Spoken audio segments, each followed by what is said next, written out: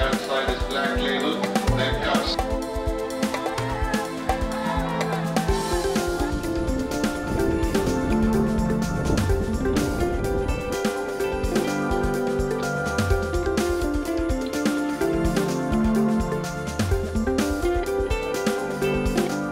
This is our 137th year of racing in Ooty, Udagamandalam uh, Race Club.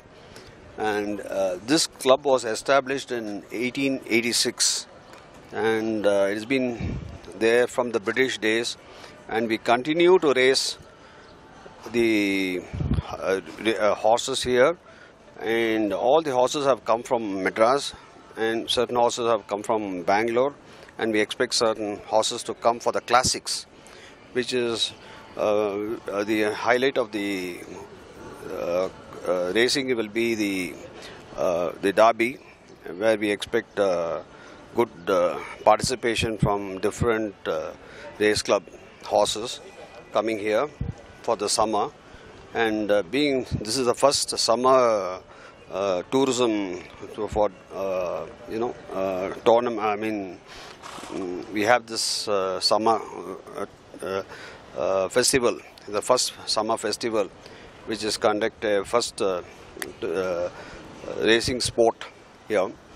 And uh, we have about 500 horses already arrived. And uh, the total stake money is about seven and a half crores including the trophies. And we have very good participation from different uh, clubs. And we have a lot of jockeys. Especially this year a lot of jockeys have come from hyderabad bangalore bombay and uh, of course madras so we expect to be very the contest will be very competitive and lively. I hope the this season the tourists of uh, coming to Ooty, Uttakamanam, will enjoy the racing. Thank you.